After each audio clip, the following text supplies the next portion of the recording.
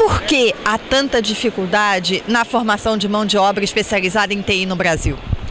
É, são, são duas questões, basicamente. Primeiro que há uma desconexão geográfica. Aonde se contrata recursos humanos, não se forma recursos humanos. Exemplo, São Paulo que é 50% do mercado brasileiro de TI, não forma em quantidade suficiente para que abasteça o mercado de TI. Ao passo que na Bahia se forma mais pessoas, mas se contrata menos pessoas na Bahia. Então você tem um problema de desconexão geográfica. E você tem um outro problema que a gente conceitua como desconexão tecnológica. O que está sendo ensinado não é o que está sendo aplicado nas empresas. E cada vez mais, em função da velocidade da tecnologia, cada vez mais esse gap se aumenta.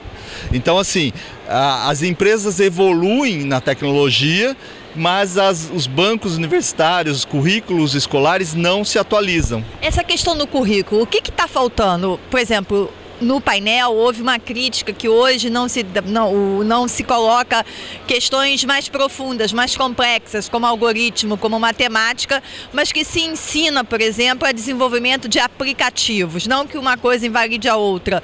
Mas o que, qual é o problema hoje da grade curricular dos cursos de TI, na opinião da Brascom? A opinião da Brascom é uma discussão mais profunda com o setor produtivo. Se eu tenho essa questão da defasagem tecnológica, ou seja, as as empresas estão no limiar da tecnologia, usando o limiar, o que há de mais avançado na tecnologia, mas isso está muito diferente do que acontece nos bancos escolares.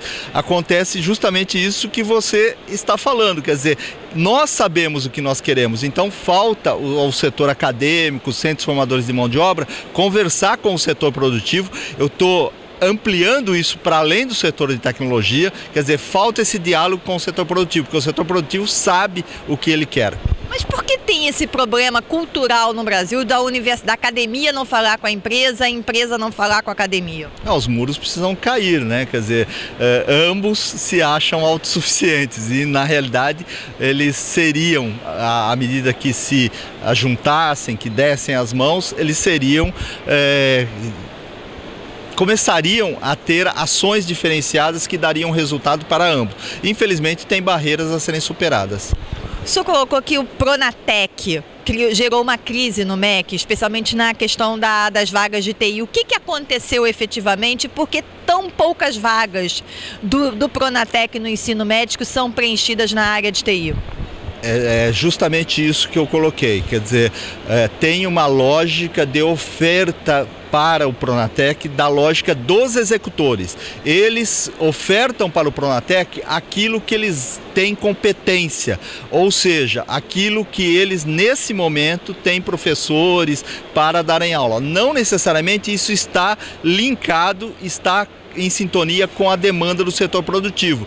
Então, por isso que não há essa conexão. Quer dizer, ele oferta, no exemplo de TI, e eu dei esse exemplo, ele oferta redes onde a gente precisa de, de programação e programação onde a gente precisa de redes. Por quê? Porque a zona de conforto é isso que ele domina naquela região e ele vai ofertar isso. E, infelizmente, falta esse diálogo com o setor produtivo. Quer dizer, esses dados que eu, que eu passei lá, das 504 vagas que houve conexão direta em, em, relação às 25 mil que nós demandamos, isso é uma constatação.